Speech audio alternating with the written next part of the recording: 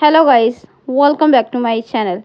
Today in this video i will show you how to fix face id issue on iphone after update ios 18.4.1 now let's start the video.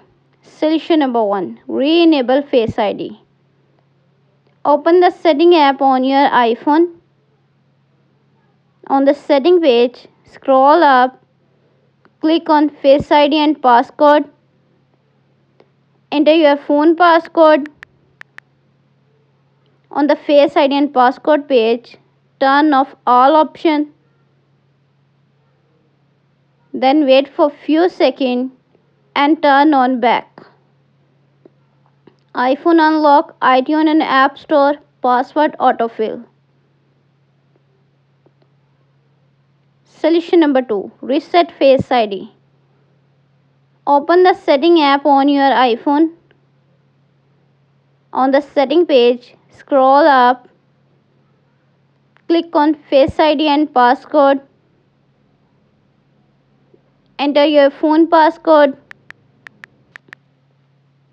On the Face ID page, scroll up. Click on Reset Face ID. Go back setting page. Click on General on the general page, scroll up, click on shutdown. Now slider to power off and turn off your device. Then wait for few seconds and turn on back. Go back setting page. Click on Face ID and passcode. Enter your phone passcode. On the Face ID and passcode page, set up Face ID again. Click Setup Face ID and follow the on-screen instruction to scan your face. Solution number 3. Check for software update.